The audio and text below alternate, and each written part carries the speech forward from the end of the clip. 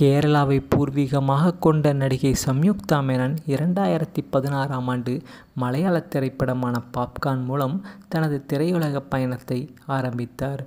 இவர் ஆயிரத்தி தொள்ளாயிரத்தி தொண்ணூத்தைந்தாம் ஆண்டு செப்டம்பர் மாதம் பதினொன்றாம் தேதி இந்தியாவில் கேரளா பாலக்காட்டில் பிறந்தவர். தன்னுடைய பள்ளி படிப்பை தத்தமங்கலம் சின்மயிர் வித்யாலயாவில் பயின்றார். மேலும் இவர் பொருளாதாரத்தில் பட்டதாரியும் ஆவார். வாத்தி படத்தின் மூலம் தமிழ் ரசிகர்கள் மத்தியில் மிகப்பெரிய பிரபலமடைந்தார் சம்யுக்தா. தன்னுடைய பெயரை சமீபத்தில் சம்யுக்தா மேனன் என்பதிலிருந்து சம்யுக்தா என மாற்றியும் கொண்டார்.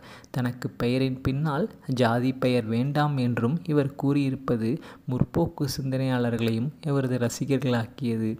தனது தாய்மொழியான மலையாள மொழி படங்களுக்கு பிறகு இவர் தமிழில் ஆக்ஷன் த்ரில்லர் படமான களரியில் தேன்மொழியாக தோன்றினார்.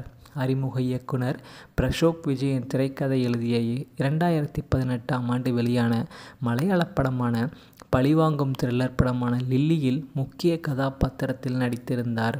வெற்றிக்காக போராடி கொண்டிருந்த சம்யுக்தாவிற்கு மிகப்பெரிய அங்கீகாரத்தை பெற்றுக் கொடுத்தது அவரின் அடுத்த வெளியீடு தீவண்டி. மலையாள மொழி அரசியல் நையாண்டி திரைப்படம் அறிமுக இயக்குனர் பெலின் டிபி இயக்கியது மற்றும் வினி விஷல்லால் எழுதியது. சமீபத்தில் வாத்தி படத்தின் மூலமும் தமிழ் மற்றும் தெலுங்கு பட ரசிகர்கள் மத்தியில் நன்கு பரிச்சயமானார் சம்யுக்தா. இந்த படத்தின் பாடல்கள் ஹிட்டானதால் இவருக்கு நல்ல பெயரும் கிடைத்தது.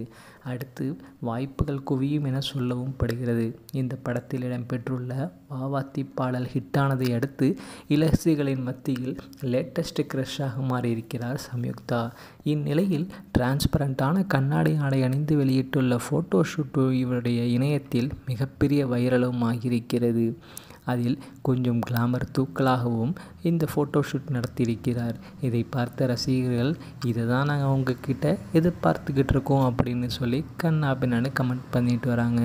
இவரை பற்றி உங்களுடைய கருத்துக்களை மறக்காமல் கமெண்ட் செக்ஷனில் பதிவு பண்ணிவிட்டு இந்த வீடியோவுக்கும் ஒரு லைக் பட்டனை தட்டிட்டு போங்க.